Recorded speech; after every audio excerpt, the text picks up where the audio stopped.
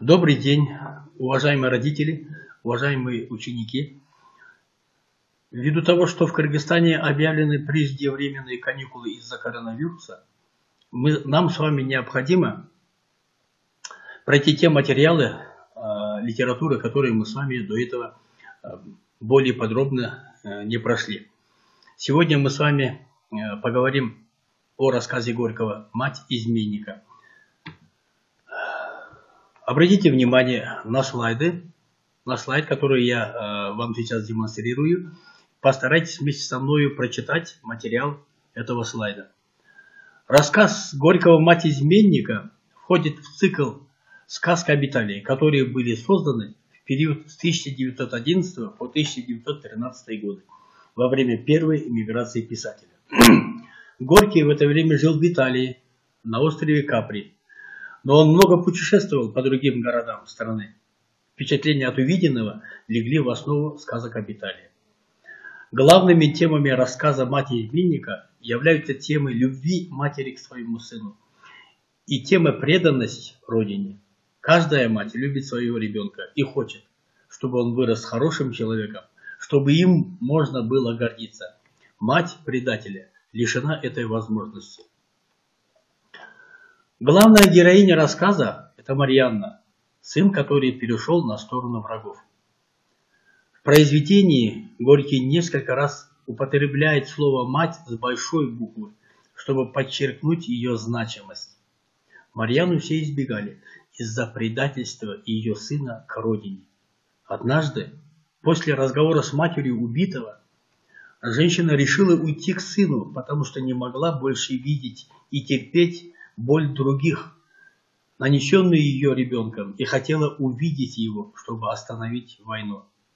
Сын Марьяны хотел только славы, хотел стать героем, не понимая, что герой это тот, кто творит жизнь вопреки смерти, кто побеждает смерть.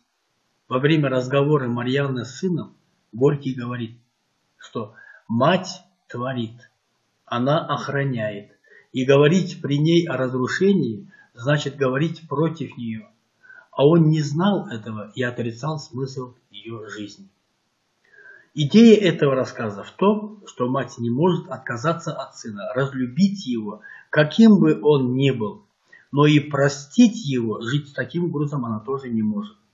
Ее сердце разрывается, поэтому она убивает и его, и себя.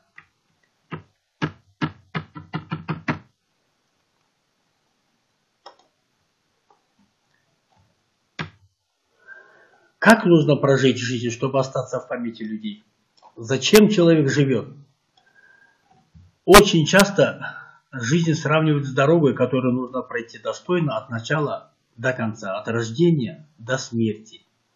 На этой дороге есть различные станции. Детство, отрочество, юность, взрослая жизнь, старость. Как пройти этот путь? Какова его конечная цель? Каким нужно быть? Чтобы люди вспоминали добрым словом. Вероятно, самая большая цель в жизни – приносить пользу людям, близким и далеким, увеличивать добро в окружающем нас. А добро – это прежде всего счастье всех людей. Оно слагается из многого, и каждый раз жизнь ставит перед человеком задачу, которую нужно уметь решать. Итак, путь к добру – в этом и есть смысл жизни человека быть верным своей семье, друзьям, городу, стране, народу, пройти этот путь достойно. Уважаемые ребята, вам также необходимо а, выполнить домашнее задание. Вам нужно прочитать по учебнику рассказ «Мать изменника» на странице 155-160, а также письменно ответить на вопросы на странице 160. Желаю вам успехов!